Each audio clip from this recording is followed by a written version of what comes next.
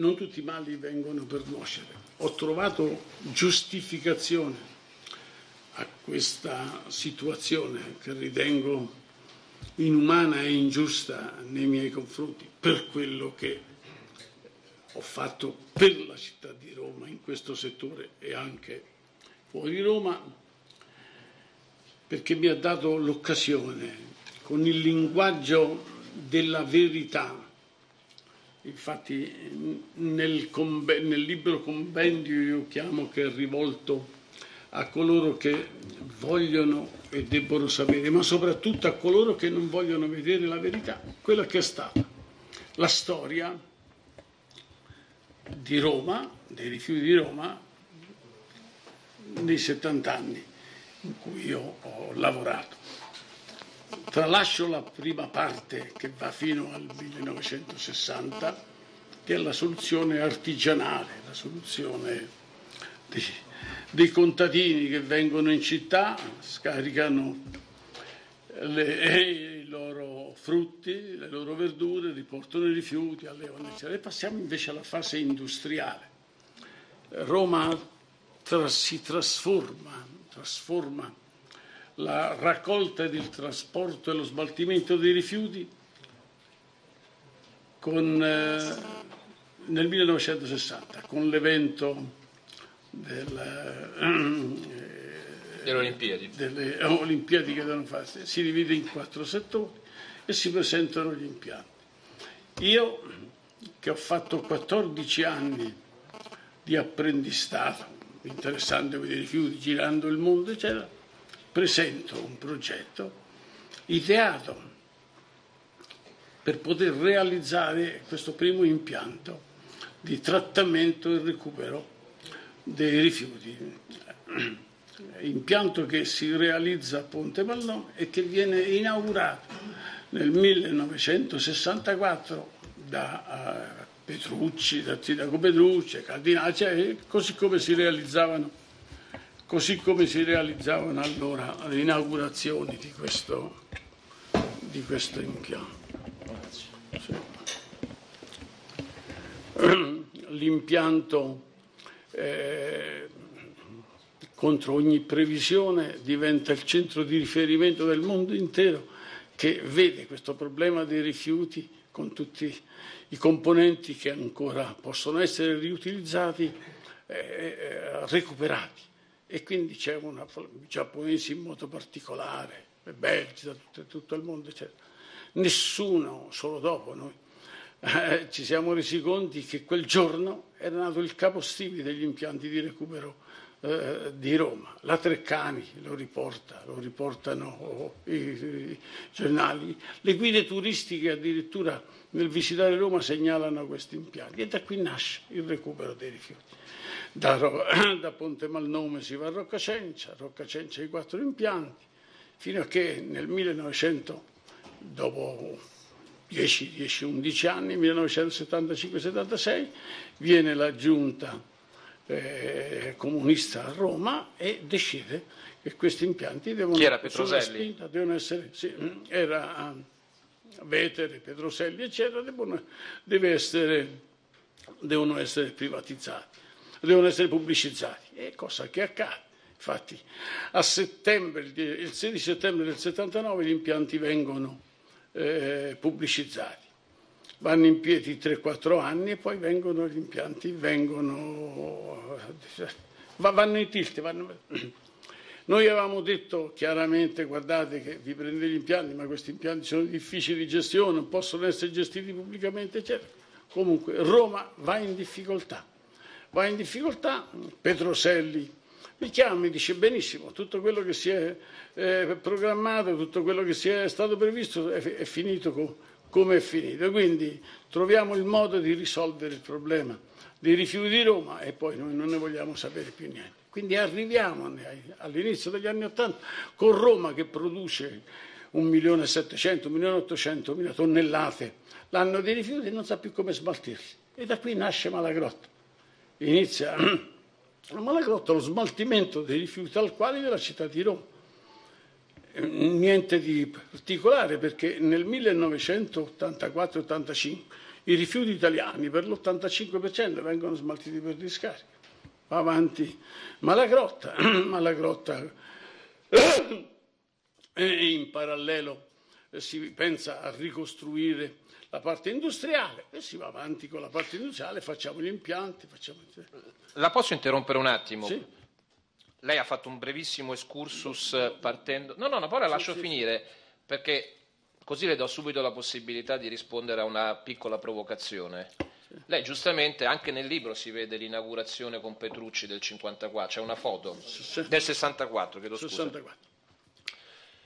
E a parte la parentesi che ha appena ricordato in cui si vuole che sia il pubblico a gestire con i risultati che ricordato, cioè il pubblico decide di gestire, poi fa marcia indietro e dice no, è meglio se continui, caro Cerroni, a occupartene tu. Ma il fatto proprio che partiamo dal 1964 e oggi siamo 2014 anno del Signore, non è un argomento a favore di chi l'attacca dicendo lo vedete che in fondo sono 50 anni esatti che Cerroni ha in mano il monopolio della gestione dello smaltimento dei rifiuti della città di Roma? E come è stato possibile mantenere questo monopolio, definizione che lei non accetta come ovvio, però mettiamoci nella, nei panni dei suoi critici, come è stato possibile, cambiando sindaci, cambiando gestione, se non con un rapporto evidentemente privilegiato con tutto il mondo della, non con una parte della politica, con tutto il mondo della politica?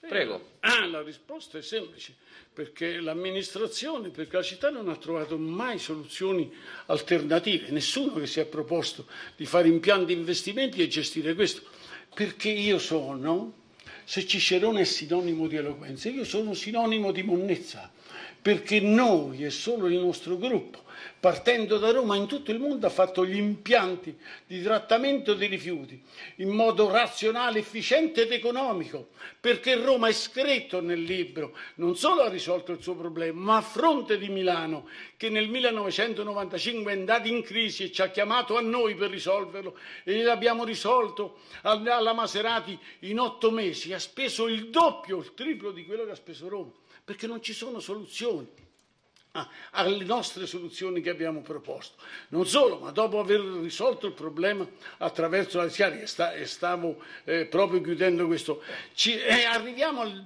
arriviamo al 2009 dove noi avvertiamo tutti e diciamo signori state attenti perché Malagrotta è in esaurimento, la vostra fortuna, la vostra salvezza sta per terminare. Perché ho scritto a, a, al sindaco Alemanno, tra l'altro nel 2010, attento, preparatevi perché la sfortuna e la salvezza di Roma che è stata Malagrotta per i rifiuti sta terminando, in quanto nel trattamento dei rifiuti, nel, nel, il discorso così è una notizia che è bene che sappiano tutti, sono tre le fasi, spazzamento, raccolta, trasporto e smaltimento. Posto 100, il costo dello smaltimento si aggira dal 25 al 33-35%, questi sono i costi che si fanno. Io ad, ad Alemanno, ce l'ho qui adesso eventualmente la espongo, ho scritto allora a settembre, dice, portando il raffronto di 15-20 città più importanti dove c'erano percentuali che andavano dal 25 fino al 41%. Roma aveva la percentuale, il costo dello smaltimento del 17% il che significa almeno 10 punti meno degli altri, il che significa che se il costo è 700 milioni, il che significa 70 milioni di economia l'anno con economia, il che significa tre, eh, tre recuperi del, del, Colosseo, se il Colosseo costa 25 milioni l'anno. Questa è, la, questa è la situazione che abbiamo noi rappresentato a Roma, che sta rappresentata qui ma ci siamo preoccupati dicendo attenzione, qui sta per terminare la volumetria perché questa volumetria ha un, una fine, non può continuare all'infinito di questo. E noi da imprenditori che facciamo? Presentiamo tre soluzioni, presentiamo quadro alto, pian dell'olmo e presentiamo gli ortacci nell'ordine. Ma quadro alto, diciamo, è la soluzione più importante. La progettiamo, facciamo AIA, facciamo tutte le pratiche, ma le pratiche rimangono ferme alla regione. Perché rimangono ferme alla regione? Perché il monopolista, perché gli ordini sono, mono, tutte, si trovino tutte le soluzioni, vada anche in crisi Roma, ma che non si dia monopolista all'avvocato Cerroni di questo. Scusi, l'ordi- l'or- questo ordine di scuderia secondo lei chi l'avrebbe dato? L'ha dichiarato la, La la- Polverini? l'ha dichiarato pubblicamente, l'ha dichiarato il direttore Marotta, il direttore dei servizi quando l'hanno interrogato in protesta e negli atti. Ma c'è di più riferito a questo. Mi dicono a me, ah, guarda, sa, sempre monopolista, monopoli- che poi non so monopolista fino a un certo punto perché il trattamento industriale metà lo fa l'AMA e metà lo facciamo noi, come è monopolista della discarica, vengano altri.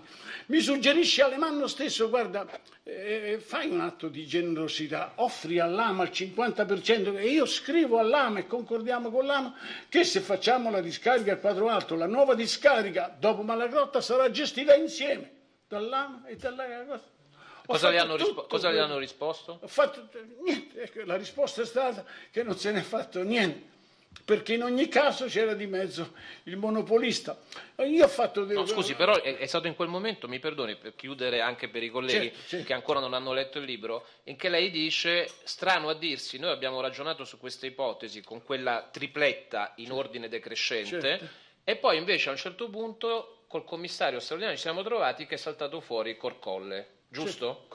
Sì. Eh, come mai secondo lei, visto che lei scrive, ma era un'ipotesi che fino a quel momento nessuno aveva mai tirato in ballo? Certo, Che spiegazione si è data? Rispondiamo anche su questo, attenzione. Al- alle nostre proposte non si dà risposta, anche se è un atto dovuto da parte dell'amministrazione. Non dando risposte ci arriviamo al 2011, dove senza risposte viene l'istituto del commissario. Intervenga il commissario a trovare una soluzione. Il commissario, la regione dice non solo ci sono i siti qui proposti dal monopolista, ma ci sono altri otto siti, altri sette siti. E tra i vari siti c'era Allumiere. Allumiere scompare e viene fuori Corcolle. Viene fuori Corcolle con tutta la polemica che comporta Corcolle, al punto che indipendentemente da, da, da, da, Corcolle c'è l'imminenza che non c'è più volumetria, allora facciamo incontro, questo lo dico ancora nel libro, facciamo incontri in prefettura col prefetto Pecoraro, col dottor Marotta, eccetera, si che si fa? E mi dicono a me, tu sei il Monnezzaro, trova la soluzione. Così gli hanno detto, tu sei il monnezzaro. Certo, troviamo la soluzione parlando, se Monzara, chi meglio di te può trovare la soluzione? Io po- propongo la soluzione di guarda, c'è da fare una cosa sola, c'è all'interno di Malagrotta recuperare una volumetria che ci consenta di non mandare Roma in emergenza in attesa che si trovi la soluzione della, Di un altro nuova, sito. della nuova discarica e più ancora che se funzionino anche gli impianti, perché allora gli impianti funzionavano a scartamento ridotto. Perché gli impianti funzionavano a scartamento ridotto? Ma perché la gestione dell'impianto ha un costo.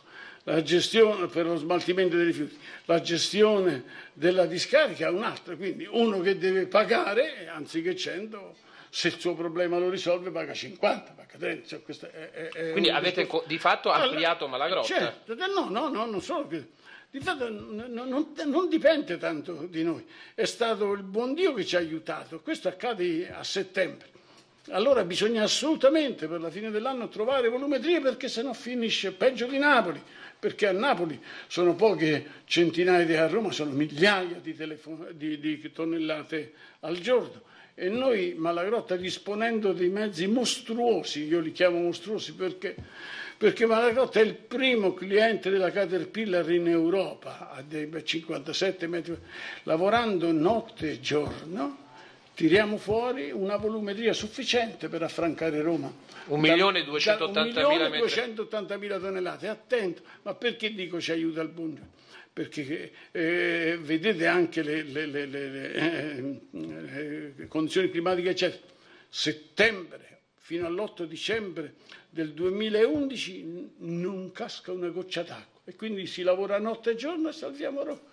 Salviamo Roma, tant'è vero che eh, nella riunione di Natale il prefetto presente dice ancora una volta eh, loro sono intervenuti loro e hanno salvato Roma grazie e la città gli deve essere grata di questo. Questo è stato il primo intervento che ha salvato Roma.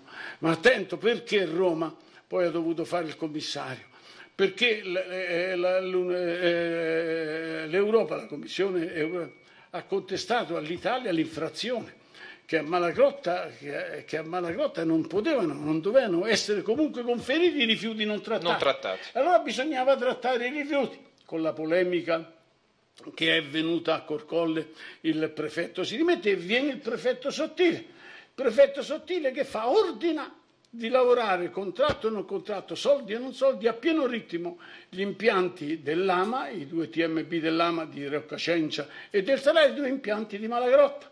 E, e, e, noi lavoriamo a pieno ritmo.